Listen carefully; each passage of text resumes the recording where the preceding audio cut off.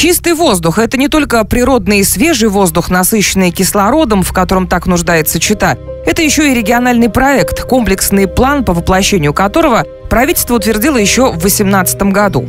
Реализация началась в этом, а сроки передвинулись с 24 уже на 30 год. Однако мероприятия, включенные в план, у экспертов УНФ и общественников вызывают вопросы. Есть твердая убежденность, что за счет выделенных федеральных средств решаются другие проблемы, которые на качество воздуха никак не влияют. Безусловно, э, строительство троллейбусных линий – это транспортная проблема. И лишь косвенно она относится к проблеме чистого воздуха. Вот отсюда и вывод, что мы, тратя э, значит, э, подавляющие деньги, большинство денег на решение транспортной проблемы, практически не решаем проблему чистого воздуха. В целом на 2021 год региону выделен 1 миллиард 266 миллионов рублей. Из них 754 миллиона уйдут на закупку троллейбусов и почти 266, собственно, на строительство троллейбусной линии ДКСК. Это на 22 год и на первый этап.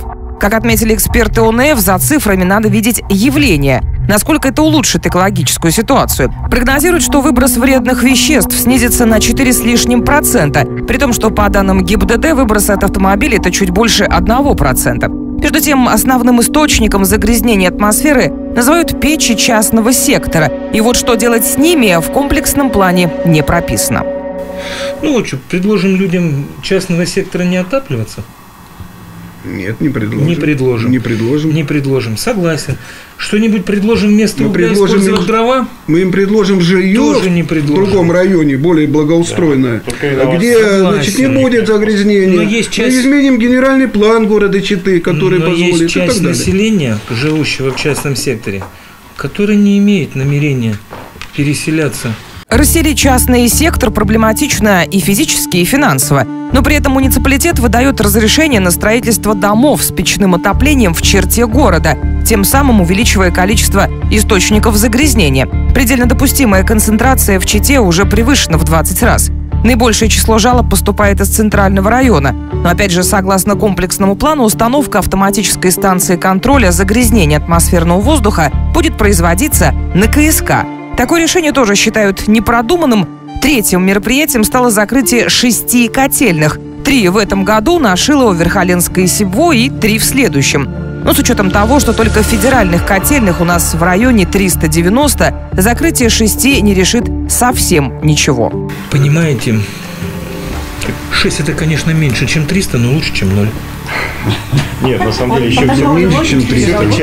Если, бы, если денег будет финансирование больше и мероприятий больше – Немало жалоб читинцев поступает и на частные котельные, например, на СТО и, конечно, на военные. Черный густой дым – показатель того, что в печь идет то, что в качестве безопасного топлива вряд ли должно применяться. И здесь даже надзорные органы по большому счету бессильны. Выписать представление об устранении нарушений, выписать штрафы и, что совсем маловероятно, временно приостановить деятельность – это те немногие полномочия, что есть. Вся надежда на газификацию, которая по прогнозам снизит выбросы на 12,5%. О большой трубе уже никто не мечтает, все чаще говорят о маленьких. Это так называемая автономная газификация. Но это мероприятие финансовым источником не подкреплено. Понятно, что каждый скворечник там это не будет проводиться труба для газификации.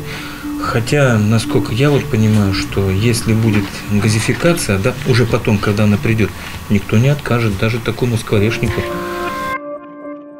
Впечатление от плана мероприятий складывается неясное. Мероприятия хорошие, но решают не проблему загрязненного воздуха. Или решают, но незначительно. Как заверяет правительство, дальнейшее развитие работы в этом направлении должен показать расчет топливно-энергетического баланса, который, к слову, для региона будет производить МГУ. Там и объем потребления газа, и финансово выгодные заменители тепловой энергии, расчеты, сметы, планы и диаграммы. А воздух в Чите все еще очень грязный.